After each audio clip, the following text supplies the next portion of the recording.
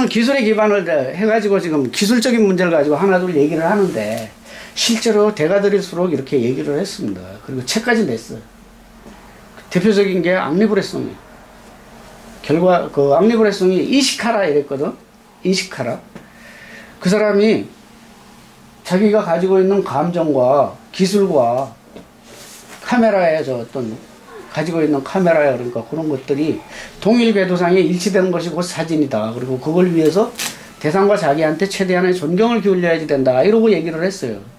그리고 그건 무슨 얘기냐면 자신이 그 기술을 감안해 가지고 어떻게 나올 것인가를 다 감안해 가지고 결정적인 순간에 샷다를 눌러주겠다 이런 그런 얘기고 내가 가지고 있는 모든 것을 종합해 가지고 실수 한 채 없이 나오는 최종적인 사진을 인식을 하겠다는 거지. 화면 위에 인화된 사진을 인식을 하겠다는 뜻을 미리 그 얘기를 하고 있는 거예요.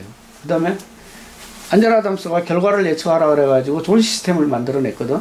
zone system은 어두운 부분, 밝은 부분을 10단계로 나누어 가지고 이 부분에다가 내가 노출을 맞추면 사진이 전체적으로 어떤 톤으로 되고 어떤 계조가 되고 어디가 어둡고 어디가 밝아 가지고 예술적인 작품이 되느냐 마느냐 이런 걸 미리 사전에 철두철미하게 계산하는 방식을 얘기한 거거든요. 그게 좋은 시스템이에요. 그리고 그거의 그 원래 기반은 결과 예측론입니다. 결과를 예측하라고 만들어낸 이론이 좋은 시스템이에요. 그래서 세상을 10단계로 단순히 그 농도 부분이지. 명암 부분을 10단계로 나누어 가지고 철두철미하게 계산하면서 찍게끔 만들어 놨어. 그러니까 철두철미하게 계산하니까 한채 오차 없이 사진이 딱딱 나와 주니까 어떤 사물 앞에 대상 앞에 섰을 때 저 대상을 어떻게 하겠다. 어둡게 갈 것인가, 갈 것인가, 밝게 갈 것인가, 밋밋하게 갈 것인가, 저것이 작품이 된다, 안 된다. 이런 것들이 이미 촬영 전에 다 알아요. 그분은 특히 에바이텐 카메라 쓰기 때문에 실수라는 게 용납이 안 돼. 실수하는 순간에 책이 전체가 날아가는 거야. 한 장의 승부를 걸어야지 되는 사람이었거든. 단 한 카트밖에 못 누르는 그런 사진을 찍기 때문에 철저하게 계산을 한게 좋은 시스템이에요. 그러니까 미리 다 꿰뚫을 보고 샷, 비로소 샷다를 눌렀어. 그건 마찬가지야. 인식하라 그랬거든. 나한테, 대상과 나한테 최대한 존경을 기울여라. 지독하게 꼼꼼하게 보라 소리예요. 브레송이 그렇게 얘기를 했고, 안젤라 담스는 철저하게 계산하라 그랬잖아. 결과를 예측하라 그랬고. 하이닝거 같은 경우도 통찰하라 그랬어. 그리고 책을 방대하게 냈는데 그 책 엄청나게 많이 팔려나갔습니다. 통찰하라. 사물을 흘려보지 말아라. 철저히. 그럼 보는 것만 그렇게 봐야지 돼요? 아니에요. 내 카메라에 대해서 피아니스트 이상 숙달이 돼 있어야 돼. 내가 지금 조리개를 어디다 놨더니 사진이 어떻게 된다. 셔터 속도를 어디다 놨더니 어떻게 된다. 노출을 부족하게 했더니 톤이 어떻게 나온다.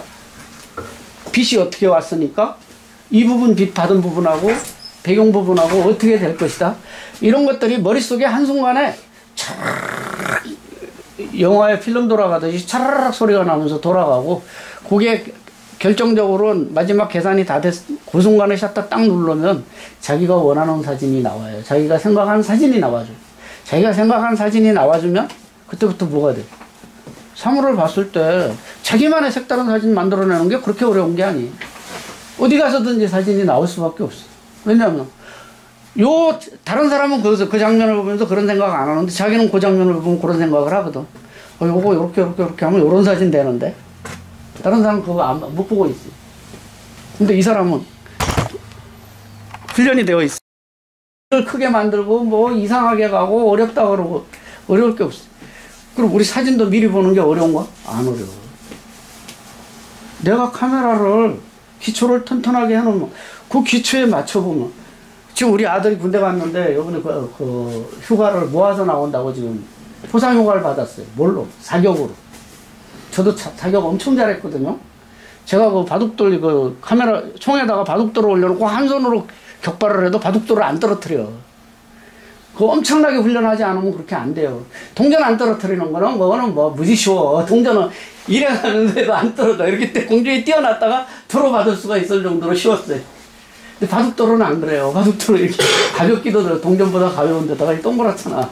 그래서 예민하게 하지 않으면 턱 떨어집니다. 동전은 뭐 아무렇게나 해도 안 떨어져. 그러니까 동전을 넘어서서 바둑돌을 안, 떠, 안 떨어뜨리는 경지까지 갔는데 거기 그 정도 경지 가면 총 정말 잘 쏴요.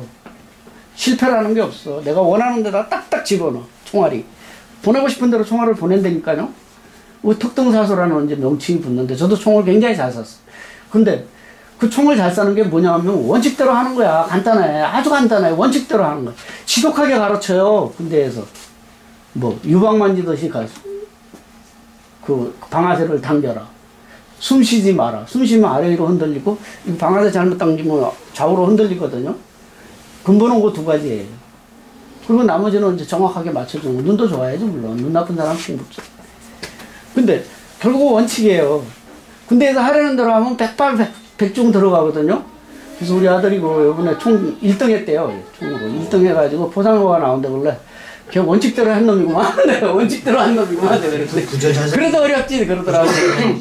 사실 뭐 원칙대로 하는 것도 쉬운 건 아니에요. 근데 의외로 간단한 게 원칙대로 하면 되는 거예요. 아이, 원칙이 얼마나 어려운 건데. 그렇잖아요. 그 사진도 그래. 기초만 단단하면 자기가 보고 싶은 대로 다 보여. 저는 그렇게 생각해요. 그래서 앞으로 기초를 되게 단단하게 해가지고 내가 보고 싶은 대로 그리고 본 대로 인화돼 나오는 그 사진 세계를 구축하는 쪽으로 교육을 맞추려고 그러고 나머지 이제 뭐 이렇게 아까도 굉장히 어, 제가 보기에는 참 저희한테 이렇게 한마디만 해줘도 또 우리하고 사귀면 우리한테 엄청 이득이 돼. 외국에서 공부를 뭐 굉장히 오래 하고 이렇게 미국까지 가서 공부하고 이런 분들이 뭐 이름이 뭐라 그러지? 이름? 김석종 석총, 종. 종, 석종, 네. 석종. 뭐 아타하고도 같이 하고 뭐 하여간 그쪽 계열이에요. 지금 지금 여기 지금 그 작가 한 사람 예, 왔을 꽤 때 이름 있는 분이죠.